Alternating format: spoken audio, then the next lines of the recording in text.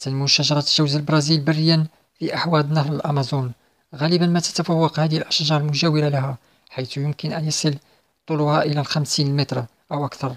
يمتد تاجها إلى 30 متر. وهناك بعض الأشجار المعمرة يمكن أن تصل إلى 100 متر. جوز البرازيل صالحة للأكل من شجرة كبيرة في أمريكا الجنوبية. توجد غابات في الأمازون في البرازيل وبيرو وكولومبيا والإكواتور تشتهر جوزة البرازيل بشكل خاص في ولاية بارا البرازيلية حيث يطلق عليها اسم بارا وتزرع كوحدة من المكسرات الرئيسية المتداولة تجاريا في العالم.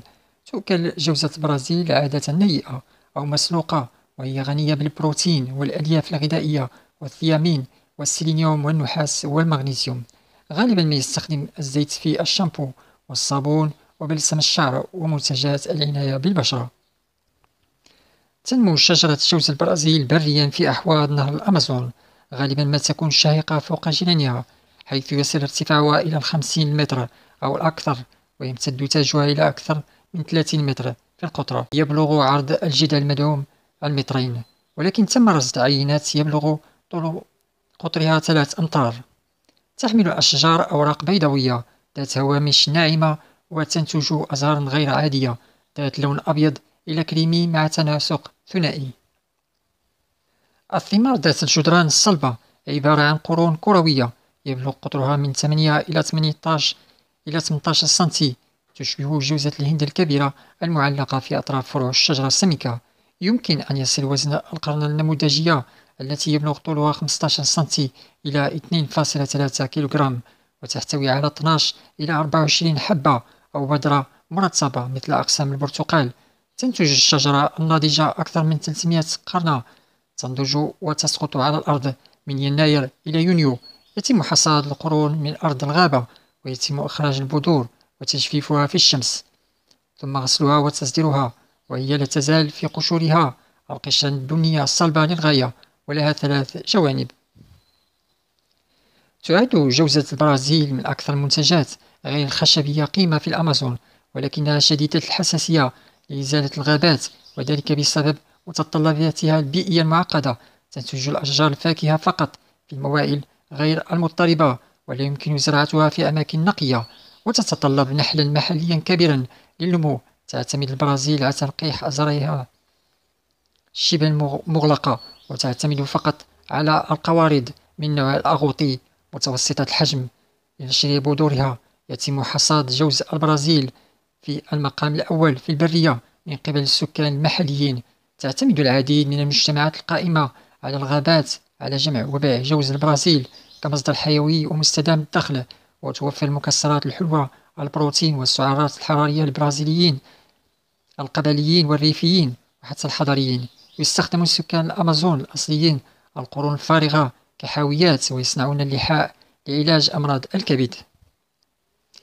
ترتبط جوز البرازيل بعدد من الأشجار الاستوائية الأخرى ذات القيمة لثمرها وجوزها. بما في ذلك شجرة ويلكم 3 وشجرة غراسيس كاليفورا. عندما يتفاعل نوعان أو أكثر في نظام بيئي لصالح بعضهما البعض يقال أن العلاقة متبادلة.